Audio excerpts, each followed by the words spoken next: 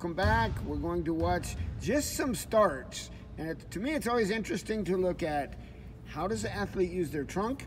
What is their hand speed? Like, what is the hand speed for these first three pushes? And then how they transition from the power pushes into a speed push, which would look more like maybe an oval or even a, a circle push. So what's the hands and what's the angle of the trunk in relation to the, the hips?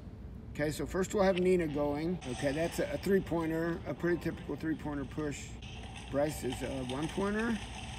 So you saw Bryce's push at the end. If you can watch it in slow motion.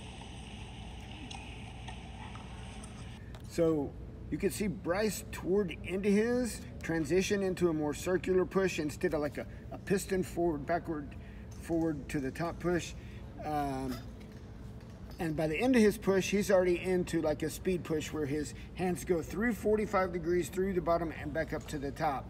But he has really good hand speed. So uh, hand speed can be a function of his strength to body weight ratio because Bryce is pretty strong, uh, or just because that's the technique he learned to push his chair. Megan, to me, watching Megan start, she does like two um, kind of slow pushes and transitions into her speed speed push a little bit early. So I would say maybe more hand speed in the first couple pushes, and then you have more speed to transition into your speed push. So um, working starts, we spend a lot of time working starts, and that, that's a big part of our speed program. Darlene, Team USA, plus one.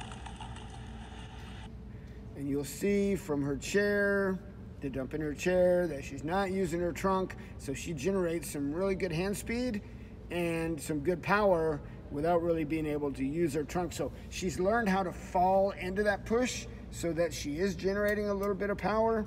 And then when she breathes with her diaphragm, she pushes herself back up that way and by pushing off the push rim to push herself up. So really has adapted a great push to her chair position and um, her level of disability. So really nice push there.